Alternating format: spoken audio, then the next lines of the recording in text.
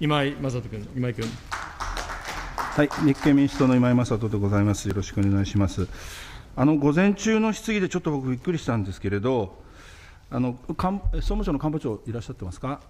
えっ、ー、と実はですね、えー、今日の午前中にあの東北新社の方があの例の38回の会食はすべてあの東北新社の方でお金を出してたというふうに言っているということだったんですけれども、2月15日のですね予算委員会で、私、秋元局長に、4回のうち、残りの3回はどうなさいますかというふうに伺ったんですけど、こう答えてらっしゃるんですね。12月10日の事案を除き、過去3回同席をさせていただいたとき、会食当時に負担額をお願いし、その場で現金でお支払いをしていますと、自分で払ってるっていうふうにおっしゃってるんですが、東北新社側は自分たちが出したと言ってるんですか？総務省、原官房長。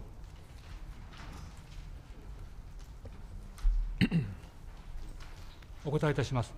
東北新社側から出てきた書類では、全額東北新社側が払っているということになっております。一方、秋元氏本人は、かなり細かく手帳等でいくら払ったかとつけておりまして、そこのところを最終的に調整して、今、整理していると、こういう状況でございます今井君。えっと、報告書ではそのことが明らかになって出てくるということでよろしいですか？原官房長。お答えいたします。明らかにしたいと思ってございます。今井君。はい、じゃあ、それをお待ちしたいと思います。えーと、官房長官いらっしゃっていただいてますので、ちょっとお伺いしたいんですが、午前中にもちょっとありましたが、あの今の内閣広報官の山田真紀子さん、これ、22日の予算委員会で、総理がこの約7万4000円の詳細について聞いてみるということで、午前中、和牛と海鮮という、えー、ご答弁がありました。えーと、これ、実はちょっと確認してなかったんですけれども、この7万約7万4000というのは、これはあの東北新社側に、えー、負担していただいた、つまりごちそうになったと、こういう理解でよろしいですか？加藤官房長官。あの2つあると思います、1つ7万5000円って、7万いくらですかね。というのは、えー、午前中も申し上げたように、当日の飲食で、えー、東北新社が当該飲食店に支払った金額を5で割った数字であります。それからもう一つは、費用の支払いについては、自分の飲食分は支払ってはいないということであります今井君。えっと、山田広報官が自分の分は払ってらっしゃらないと。いうふうにおっしゃったということでよろしいですか？もうちょっと確認。加官房長官。会食の際には自身の飲食分は支払っていないということであります。今井君。はい、わかりました。ですということは、この分は東北新社にご馳走いただいたということが確認できました。それで、もう一点ちょっとお伺いしたいんですけれども、2月15日の予算委員会、これ、私の質問のところですけれども、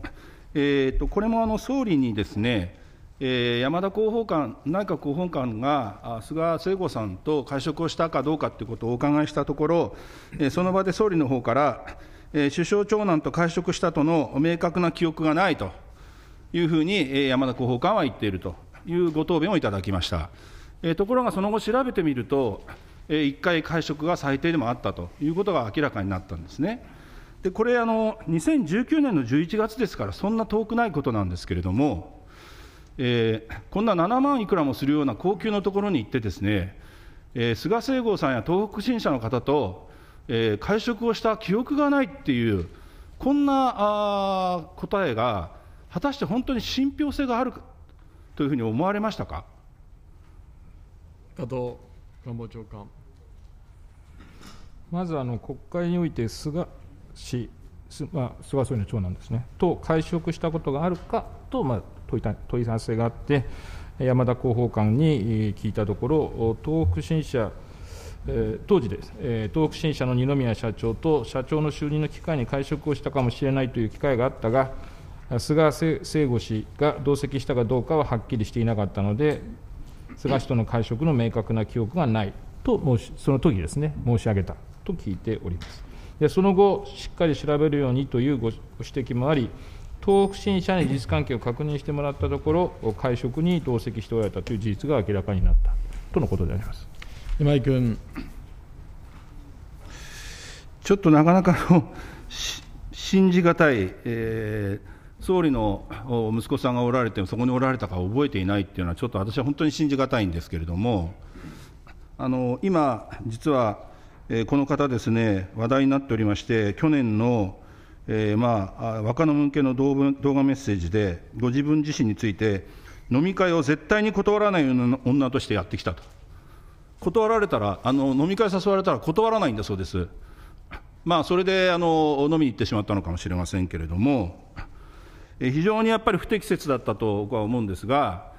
しかもその最初の答弁も非常に曖昧なことをおっしゃっている、えー官房長官のこういう方はですね、えー内閣の広報官として、えー資質として適任だと思われますか？加藤官房長官。まずあの国会への対応については、まず最初聞かれたので、本人の記憶をたどって、そこがはっきりしなかったので、菅氏との会社の明確な気がないと言われ、しかしその後、しっかり調べてですね、あ事実関係を確認して、会食に同席をしていたということを明らかにし、え先般の報告も総務省を介してですね、国会にも提出させていただいているわけであります。あのそういった意味で、あのこうした事案に対しては、当初の、まあ、記憶の不明確なというところがあったにしてもですね、その後、しっかりとした先方にも確認をして対応されているものと承知をしております。また、あ広報官の仕事に関しては、日頃からしっかりとその職責を果たしていただいているものと認識しております。今井正人君。あの仕事をしているかどうかというより、僕は人格の問題だと思うんですね、今回、まあ、あの当初から私、この問題を取り上げさせていただいてますが、あー関係者の人は最初から言ってることと途中で答弁が変わるんですよ、つまり最初、嘘ついてるんですね、それをなんか証拠が出てくると認めざるを得なくなるっていう、この繰り返しなわけです、だからこの話、こんなこじれてるんです、初動を間違えなかったら、ここまでになってなかったかもしれません。ね、山田広報官だって私は同じだと思いますよ、そういう方が政府の広報をしてらっしゃるっていうのは、私は不適任不適切だと思いますけれども、そう思われませんか？加藤官房長官。あの細かいご本人の説明の変化の詳細は承知をしておりませんけれども、まあ、ご本人としては誠実にですね、その時々の状況の中で答えられるものを答えてこられたというふうに思っております。今井君。その上で、えっと、官房長官は22日の会見でも、関係者の処分を踏まえ、当然、えー対応すると、えー山田広報担当官についても何らかの対応を考えると、午前中もそういうふうにおっしゃってました。えー何らかの対応っていうのはどういうことでしょうか、例えば。加藤官房長官。まあ、現在あの、総務省のお関係者について、えーけえーた大変甚だ遺憾なあことではありましたけれども、公務倫理規定違反の疑いということで、現在、えー調査結果を踏まえて、公務審査委員会ですかね、えーとその処分についてえー協議がなされているということでありますから、まあ、その協議、えー協議というか、処分の結果、あ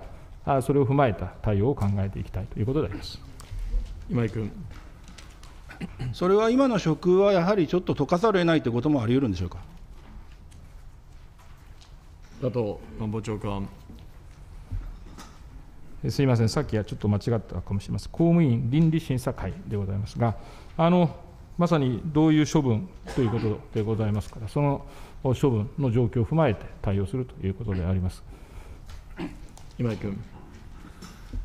はい、あのしっかりとこれ、対応していただきたいと思います。あの私は今日呼んでおりませんけれども、同僚議員が今日質疑に参考人として来ていただきたいということでしたが、えー来ていただけないんですね。で前も今も申し上げたとおり、えー最初の時と後で、えーいおっしゃってることが違いますから、これはやっぱり国会で明らかにしなきゃいけませんので、まあ、予算委員会の方でも今、要求してます。えー山田広報官はですね、えー予算委員会もそうですし、この内閣委員会でも、ぜひ出席をしていただきたいと、そのことをお願い申し上げたいと思います。理事会にて引き続き協議をいたします。今井君。はい、えーと、他にもちょっとやり点が点がありますので、これ、もう一点だけ、人事院さん、今日すみません、ありがとうございます。あのお国家公務員倫理審査会っていうのは、あのしゅえーと月に2回ほど定例でやってらっしゃると思うんですね。えーお伺いすると、次回が3月4日だというふうに伺っていますが、あのこういう事案が出たときは、えーまあ、柔軟に対応するというような話もおっしゃっておられたので、えーこの総務省の件に関して、総務省から報告が出出てきたら、速やかに審査会を開いて、それをお審査するということでよろしいですか？国家公務員倫理審査会、新井事務局長。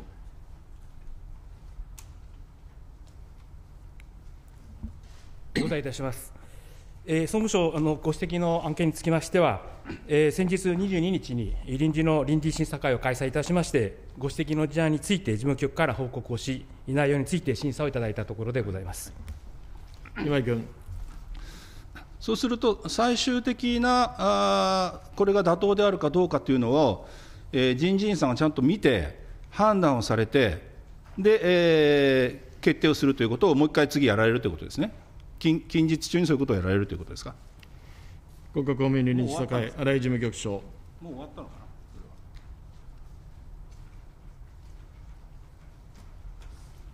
お答えいたします。えーご指摘の点につきましては、速やかに対応していきたいというふうに考えております。今井君。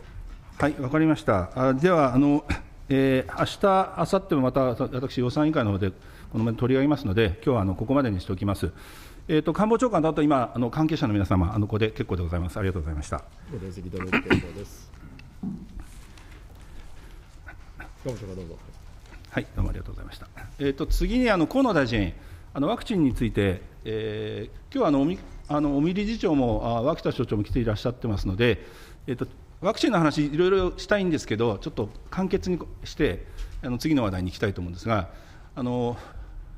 実はこの質疑に入る前に、私の選挙区に15の市町村がありまして、えー全部に聞き取りをしてまいりました、あのワクチン接種に関して、どういうことが困ってらっしゃるかということだったんですけれども、あの医師とかあの医療従事者の確保は、もう、まあ、ずいぶん苦労してらっしゃいましたけど、15自治体とも一応進んでいると、なんとかやっていると。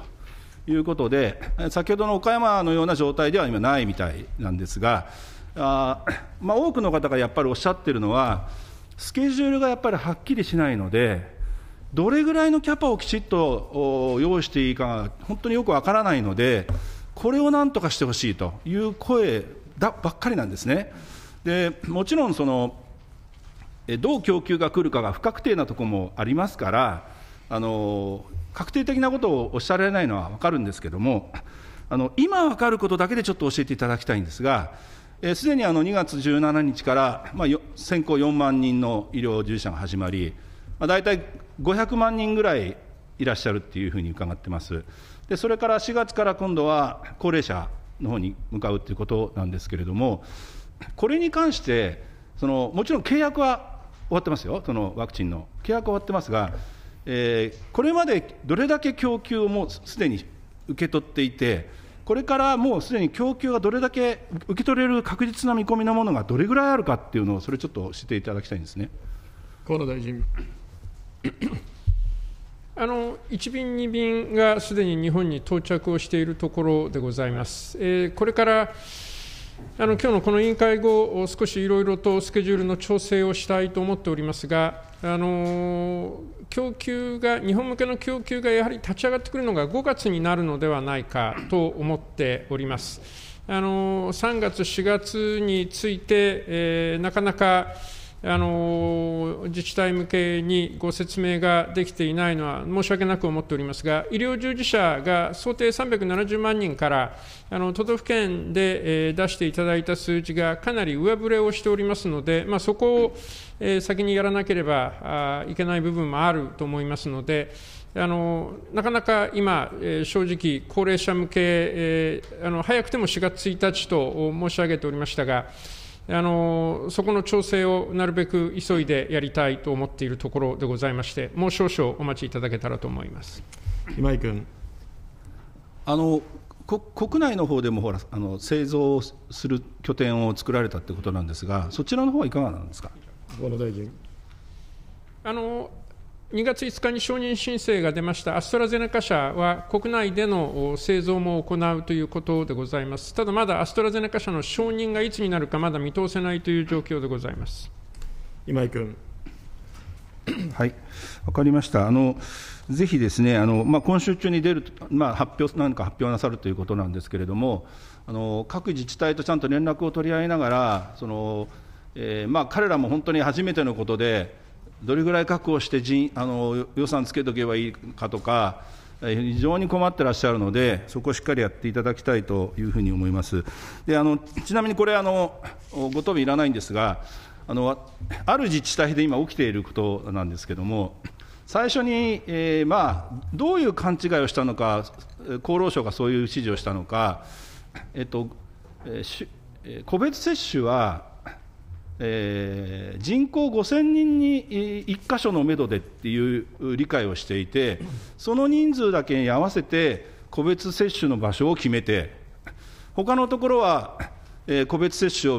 認めないので、えー市でやるですね集団接種のところにお医者さん、協力してくれませんかって要請をして、これでえらいトラブルになってるんです、そんな話聞いてないと、俺のとこだって個別接種やりたいんだと。で、大揉めになってるんですね。で、伺うと、その5000人に1人なんていうのは、厚労省はそもそも、そんな指示はした覚えがないと言ってるんですが、自治体はそういうふうに受け取ってるんですね。それがこの混乱の一番の原因なんです。だからそういうことがやっぱり現場で起きているかどうかっていうのをよく確認してやっていただきたいということなんですね。ちょっとそのそこだけあのご答弁ください。河野大臣。あのそれぞれの自治体の職員の皆さん、首長さんを含め、この本当にいろいろとご努力をしていただいておりまして、感謝申し上げたいと思います。あの混乱の原因は、供給スケジュールを示せない私の責任でございますので、あの国民の皆様には、あの 住民あの自治体のお職員の皆さんが本当に頑張ってくださっているということをご理解をいただきまして、あのぜひご協力を賜りたいと思っております。あの物事がうまくいかないのは、すべて河野太郎の責任だというふうに考えていただいて結構でございます。今井君。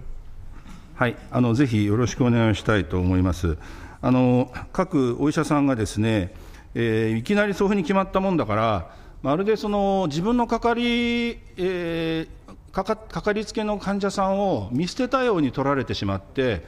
本当に困ってるというような声を私は何人からもご相談を受けまして、それはいかんなということだったんですが、まあ、どこにそのボタンの掛け違いがあったかっていうことなんですけれども、まあ、やっぱりでも現場でそういうことが起きないように、ぜひ、えーこれからあ指導力を発揮していただきたいと思いますので、よろしくお願いします。えー、とそれではあの、えー河野大臣こちらここ、こちらまで結構です。ありがとうございました。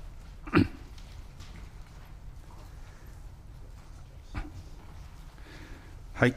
えーっと、残りの時間はですね、えー緊急事態宣言等についてお伺いしたいと思います。尾身理事長とから脇田所長、今日もありがとうございます。え午前中もちょっとあったんですが、あの今、緊急事態宣言が出ている 10, 10個の都道府県のうち、東海圏とそれから関西圏の方からあ2月の末で、えー解除をお願いしたいというような要請が来ているということなんですけれども、あの感染防止の専門家の観点から考えまして、この時点で、えー緊急事態宣言を解除するということについてのご意見をお二人それぞれからいただきたいと思います。まず、地域医療機能推進機構、尾身理事長、お願いいたします。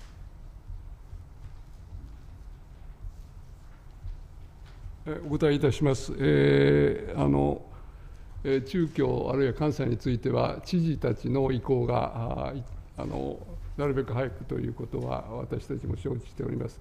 で知事たちの意向というのは当然重要な要素だと思います。と同時にこれはもう私ども従来から申し上げましたようてるようにやっぱり客観的な考え方というものが非常に重要でそれはまあ私どもがずっと示していてたのステージの考えを、まあ、6つの指標を総合的に考えてですね、えー特に医療のへの圧迫というのが大事でで、まあ、そういう中でしっかりとまずステージ3に入っていってるということが大事でさらに、まあ、医療への負荷あるいは感染状況が改善しているそれからステージ2に行く見こ見通しがあることそしてこれは私は最も大事だと思いますのはリバウンドがしないような形であの解除するということ、それから解除したことも大事ですから、そういうことを総合的に判断を、これまたおそらく諮問委員会が近日開かれる最終的な政府の対策本部で決めるものだと思っております国立感染症研究所、脇田所長。はい、えー、お答えいたします。今、あの尾身理事長がおっしゃったことでも、ほとんど言い尽くされているとは思うんですけれども、まあ、我々あの指標を見ていますと、あの新規感染者数の減少スピードが、ここのところ、やや鈍化をしているというふうにあの、えー、判断をしておりますので、そのあの感染の減少のスピードを今後もしっかりとあの続けていくことが重要だと思っておりますので、あのまあ、解除がされたとしても、対策を継続させること、それからまあ緩和に緩和においては、段階的にあの対策を緩和していくと、そういったことは必要だと考えております今井君。はい、ありがとうございます。あの資料をちょっとあのお配りしているんですけれども、これ、毎週1回、えー、厚労省さんが発表しておられる、このいわゆる6つの指標がどうかっていうことの全各都道府県の数字なんですが、1枚目の一番下の方あの私の選挙区の岐阜県、あるいは愛知県がございます。えー、岐阜県の数字を見ていただくと、えーまあ、若干まだあの、えー、一番左の指標の2つですね、確保病床使用率と確保想定病床使用率っていうのが若干高いんですけれども、えー、それでもまあ非常に落ち着いている状態になっております。で愛知県と一体なので、愛知県を見なきゃいけないということなんですけど、まあ、愛知県もある程度落ち着いてはきてきつつあるんですね。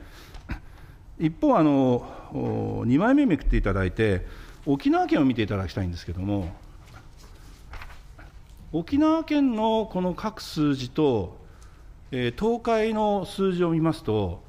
明らかに沖縄の方が悪いんです。別に沖縄のことを悪く言うつもりはないんですが、6つの指標を、えー、勘案して物事を判断するというのであれば、えー、東海地方が緊急事態宣言が置かれていて、沖縄県はそういう状態にないというのは、やっぱり理屈が通らないと思うんですね。ここが実はよく分かりにくいところなんです。まあ、もちろん指標だけじゃないっていうふうにおっしゃっていますけれども、医療の状況もこうやって見る限りは、やはり沖縄の方がちょっと厳しそうですね。こういうとこあの西村大臣ね、こういうところがある程度やっぱり分かりにくい分かりやすくないと、みんながなかなか協力しづらいと思うんですよ。その点については何かご意見ございますか？西村大臣。あのご指摘のように、この指標ですね、これあの、私ども毎日更新をして、えー、状況を確認して、まあ、専門家の皆さんにも毎日ご覧いただいているところであります。あのまず岐阜県、愛知県、これがあの先週末の段階だと思いますので、その後の数日間でさらに改善をしてきているという状況にあります。その上で愛知県知事からは昨日、解除、前倒しの解除の要請もいただきました。あの岐阜県知事は、ちょっとあの病院のクラスターなど発生していることもありますので、若干慎重なあのお答えでありましたが、あの最終的に国のご判断をお待ちしたいということでありました。その上で沖縄のお話であります。沖縄も、これもあのかなり数値としては改善してきているんですが、一時、かなり緊迫した状況で、えー、知事からも、知事ともかなり私、頻繁にやり取りしてますが、玉城知事からも、えー、独自の緊急事態宣言のようなことを出され、また国の方にも、まあ、同等の措置、まあ、特にあの知事からは経済的な支援策をということであの言われたわけでありまして、私ども、日々、こうした状況を確認をしながら、え、県と確認しながら、また専門家の皆さんにもお伺いして、え、特に医療、ご指摘の医療が、え、沖縄は脆弱な部分がありますので、えー、現地の医師とも私どものスタッフはやり取りをしながら状況を確認してきたところであります。特にあの宮古島で、えー、クラスターが発生しているときにはです、ね、自衛隊の派遣も行ってきたわけでありますし、夏にも派遣を行ってきたということで、そうした状況の中で、あの日々あの確認をしてきていますけれども、なんとかピークを超えてですね、今、改善の傾向に向かっておりまして、この1週間で比べてみましても、前週比で0.51ということで、まあ、半分の1週間1週間で見ますと、半分にまで感染者の数が落ち着いてきております。えー、陽性率も3.5%ということで、かなり、低くなってきております。あの陽性率で見ますと、岐阜県が4.3%、愛知県5.1%でありまして、あこれあの、ここも少し改善はしてきていますけれども、あのいろんな状況を総合的に判断しながら、えー私ども見てきているところでありまして、あのご指摘のように、沖縄県については一時、非常に緊迫した、えー状況であったことはあ事実でございます。今井君。はい、えっと、尾身理事長、ももう一点、あのえー今度は1都3県ですね、関東です、えー3月、まあ、ちょっと今回は厳しいのかもしれませんが、まあ3月7日というと、もう来週末ですから、えーそろそろお状況を見ていかなきゃいけないんですが、今、その1都3県の状況をどういうふうにご覧になっていらっしゃいますか？尾身理事長。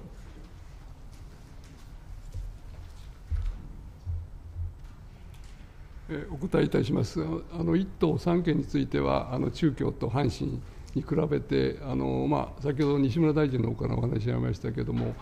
中京、関西の比較的医療、あるいはあの例の逼迫、感染状況もかなり改善している、それに比べると、首都の3県はですね、あの医療の方もまだずいぶんあの逼迫している状況が一定程度続いているし、あの感染の先ほど脇田先生のおからありましたけれども、少し今、高止まっていて、一部の県では少し感染が増えているというようなこともあって、あの明らかに状況としては、関西、中京に比べたら、首都3県の方がまだあの、えー状況は比べればですね、改善のおスピードが弱いというふうに言えると思います。今井君。はい、1都3県はまだちょっとかなり厳しいということでございましたので、まあ、ちょっと慎重にまた対応していただきたいと思います。えーっと、おその上で、あすみません、脇田所長にちょっとあの一点あの、変異株のことをお伺いしたいんですけれども、えーまあ、最近、報道ベースであのいろんな変異株が国内で、えーまあ、発見されていると。で特にあのえーまあ、感染力が強いのも、まあ、怖いんですけれど、もう一点あの、ワクチンの有効性が低いかもしれないと、私ちょっとあまり詳しくないんですが、501YV2 とかですね、こういう方のものはあのワクチンの効きが弱いんじゃないかっていうふうな指摘もあるんですけれども、えーその点も踏まえまして、今、変異株についてどういう評価していらっしゃいますか？国立感染症研究所、脇田所長。はい、お答えいたします。いわゆるあの変異株につきましては、あのスパイクタンパクというところの表面のタンパクに多重の変異を特徴としまして、え発生国をもとにあ3系統、いわゆる英国株、それから南アフリカ株、ブラジル株と、この3系統が報告をされています。で N501Y という変異を有することを特徴としておりまして、まあ、この変異によって感染伝播力の上昇というものが示唆されております。また一部には、ワクチン効果を減弱させる免疫逃避の可能性が指摘されておりまして、え国内への流入と感染伝播を注視しているところであります。その一方で、あの今回、あの新たな変異株として、感染研の方からご報告させていただきましたのは、え検疫及び国内で検出した新たなウイルス系統ということで、先ほどの N501Y 変異は有しておりませんが、E484K というアミノ酸変異を有するウイルス系統でございます。この系統につきましては、変異が単独で既存の免疫やワクチンを無効化させさせるものではないと考えておりますけれども、効果を低下させる可能性が指摘をされております。国内での蔓延は中長期的にえー感染制御のリスクとなりうるととえー評価分析をしておりますので、えー感染研としましては、厚労省と連携をして、えー変異株についての評価分析を進め、えー地方衛生研究所、大学、民間機関とも連携をして、えー監視体制を強化し、この N501 変異、それから E484 変異を有する変異株について、実態をさらに把握していくということにしております。今井君。はい、ありがとうございます。えー、とちょっとこれは本当に心配なあ材料でございますので、またあの、えー新たな知見がありましたら、あの分かりやすく説明していただきたいと思います。で、尾身理事長、すみません、もう少しお伺いしたいことがあるんですけれども、あのえー今回、まあ、感染がある程度こう収まってきた後の先の話なんですけれども、えーまずあの、今回、これだけ感染が拡大をしてしまったということの原因なんですね。でそれはその気温がさ低いとか、湿度の問題とか、そういうことが影響しているのか、つまりこれから暖かくなっていくんですけども、あのその状況になって、またその第4波というのが、果たして来る可能性がどれぐらいあるのかっていうことですね、寒かったからこれだけになったのか、その辺の評価はどうでしょうか。地域医療機能推進機構理事長。お答えいたします。あの、全く同じ条件の2つの地域があって、温度差だけが違うということを仮定すれば、確かに気温が下がる方がウイルスにとっては都合よくて、感染がその分ということはあると思いますけど、今回の場合は、その気温の影響ということよりはですね、今回の冬の場合も、あの12月の末にかけて急に増えましたよね、それまでも、まあ、他の沖縄のような暑いところもだって、結局は一言で申し上げると、気温の変化、影響という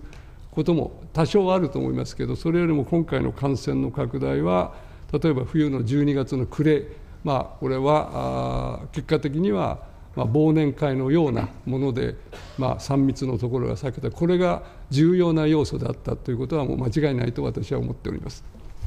今井君。そうすると、えー一応その、今回、いろんなあ状態を、まあ、徐々に、えー規制を緩和していったとするとですね、えーまあ、状況によっては再び、えー感染拡大をする可能性は、そのき気温に限らず、まあ、あり得るという、そういうご認識ででいらっしゃいますか？尾身理事長。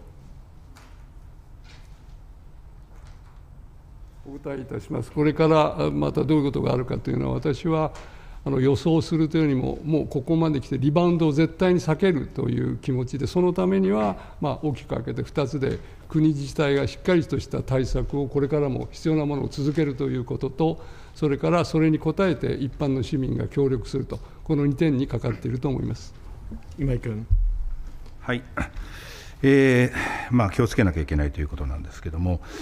えっと、おせっかくお二方いただいていますので、ちょっと別の観点でお伺いしたいんですが、オリンピックの話なんですけれども、あの私はまあ、自分、えー東京オリンピックの時2歳だったので、記憶になくてですね、できれば東京でオリンピック開かれているのを生きてるうちに見たいなと思っておりまして、えーまあ、できるのであれば開催してもらいたいと思っているんですけれども、まあ、そうは言ってもいろんなリスクがあると思うんですが、あのちょっとお二方それぞれお伺いしたいんですけれども、このオリンピックを開催するということに対して、えー感染の専門家として、えーこれはあの対策をしっかり講じれば開催できるものなのか、えーできるんだとすれば、どういう対策をしなきゃいけないのか、そのことについて、それぞれちょっとご意見をお伺いしたいと思います。尾身理事長、お願いいたします。お答えいたします。私自身はあのオリンピックを開催すべきかどうかということを判断する立場にありませんけれども、まあ、感染症対策をずっとやってきたものの立場でだけで申し上げれば、まあ、オリンピックを開催するのであれば、感染のレベルをしっかりと低くするということは、大変重要なことだと思っております。脇田所長。はい、お答えいたします。えー現在、あの内外の感染状況をま注視しながら、大会に向けた準備があの進んでいるというふうにあのえ承知をしておりますけれども、やはりあの尾身理事長が言われますように、あの感染のえ減少の傾向を確実にして、感染状況を改善するということは重要だと考えております。で現在あの、緊急事態宣言がありまあり、あの感染者数は減少傾向にありますけど、まあ、先ほど述べましたように、その宣言の解除は総合的に判断されるとともにですね、あの解除もその、まあ、リバウンドを絶対に起こさないように対策を継続をして、そして、えーまあ、緩和に関しては段階的に慎重に行うべきというふうに考えます。今井君。あの私が心配しているのはですね、え例えば感染がある程度収まって、まあ、どっかの段階でもう開催するって決めなきゃいけないわけなんで、決めましたと。で、決めて、オリンピックが始まる前にまたぼわーって拡大してしまった、その状態でオリンピックを迎えたら一体どうなるのかっていうことなんですよ。そうすると、まあ、ひょっとするとですね、オリンピックの開催前にもう一回、厳しい措置をして、えー絶対そういうことを起こさないという状態を作り出しておかなきゃいけないのかもしれないんですね。ピークがそこに来るなんて誰も予想できませんから、やっぱり事前にそこを抑え込まなきゃいけないのじゃないかと思うんですが、その点についてはいかがでしょうか？あの尾身理事長、すみません、よろしく尾身理事長。お答えいたします。あの委員おっしゃるように、私は今、緊急事態宣言の解除ということが今、国民的な関心になっていますけれども、解除をどどこがするかというのは非常に重要ですけど、それと同じぐらい、あるいはある意味ではそれ以上に大事なのは、解除した後にいかにリバウンドを起こさない、で起こしそうになったらばすぐに対応して、小さなピーク、ちょっとでも上がればやるという、そういう、まあ、心構えというか、そういう準備を国、自治体、それと国民がみんなが同じ心を持つ、あの同じ方向性を持つということが極めて重要だと思っております今井正人君。はいあのまあ、今回は一旦収まるんでしょうけど、今、あのお話があった通り、さらに拡大する可能性が否定できないわけですね、あの状況によっては。でそんな状態でやっぱりオリンピック迎えてしまったら、本当、大混乱になりますし、えー、医療関係者の方の負担ももう急急に増えますから、やっぱりそのロードマップ、ちゃんと考えて、その事前にそこが拡大しないようにね、あの政府としてやっていただきたいと思います。えあと数分ですので、西村大臣、最後お伺いしたいと思うんですけれども、今回、緊急事態宣言を、まあ、どこかの段階で解除するんですが、すで、にいろいろお話しされてますが、その次の段階をどうするかですね。で大村知事なんかはあ、県独自の方に移行したいっておっしゃってるから、まあ、24条の9項を使うっていうことなんだと思うんですけれども、私は特措法の改正の議論をしたときに、最初の入り口の段階でだんだん増えていって、まん延防止があって、えー、緊急事態宣言っていう順番に行くっていうのは想定してたんですが、解除するときに、もう一回まん延防止に入って、えー、24条9項に入って、通常に入っていくっていう、これはちょっとやっぱり分かりにくいと思うんですよ。やっぱりだから緊急事態宣言できちっと抑えておいて、ある程度まん延防止とあの重点措置をはあの発令しなくていいような状態のまでやっとい対策をやっておいて解除するっていう方が分かりやすいと思うんですけれども、それはいかがでしょうか？西村大臣。えー、先ほど来のやり取りを聞いておりまして、まずあの今後、どっかのタイミングでは解除の判断をしなきゃいけなくなりますし、またその解除後の今、対策、どうしていくのかというお話であります。えー、そうした判断をしていく上で、えー、今、ご議論あったように、変異株への対応、これを常に頭に置いておかないとですね、感染力はまあ1.5倍ぐらいあるという海外の研究もありますので、それを頭に置くこと、そして去年3月、4月に大きく拡大したこと、これあの、12月と同様に行事が多いシーズンでありますので、飲食の機会も多いですから、えー、移動の機会も多いということで、そのことを頭に置きながら判断していかなきゃいけないと思います。その上で、ご指摘のようにですね、えー、やはり緊急事態宣言というのは非常にこれは重い判断、強い宣言でありますので、えー、この下でしっかりと感染者の数を減らして、そして病床も安定的な体制にしておくこと、これが大事だというふうに認識をしております。えー、ご指摘のように、まん延防止措置を法改正で、えー、できたわけでありますけれども、まん延防止措置があるからといってですね、えー、安易に、えー、緊急事態宣言を解除して、えー、ということは考えて、えー、おりません。えー、直ちに従って会場を直ちにまん延防止措置に行く、機械的に何か行くようなことを考えているわけではありません。え、ご指摘のように、え、何人かの知事とも意見交換しておりますけれども、いずれにしても、まん延防止措置やるかどうかは別としてやらないとしても、段階的にさまざまな対策を緩和していく、特に今もお話ありましたように、飲食が、え、その起点になってきたということでありますので、えー、放っておけば12月と同じような状況も起こりかねないということを頭に置いて、えー、しっかりと対策を講じていきたいというふうに考えております、はい、今井正人君、はい、あと1分しかありませんので、じゃあ、私の最後の指摘だけで終わります。あの今おっしゃったように、飲食が原因であるわけで、でこれ通常になったらまた飲食戻るわけですよ。で GoTo イートとかいろんなのも始まると思うんですけども、私は飲食の店行って、いつも本当に思うのは、そのアクリル板ですね。アクリル板のない店が多すぎるんですよ。あれをちゃんときちっとやってれば、食事に行ってもある程度私は防げると思うんですけど、私が言ってる限りもう2、3割ぐらいしかないんじゃないですかね。ああいうことを徹底させてください。まあ、補助金出してるとかいろいろおっしゃってますけど、そうじゃなくて、もうちゃんとそういうものをしてして、食事をしていれば感染を防げるんだということで、そういう政策を打ち出してほしいんです。そうすれば、あの飲食から来る蔓延というのはある程度防げると思いますので、ぜひそれをやっていただきたいということをお願い申し上げまして、時間になりましたので、終わります。ありがとうございました。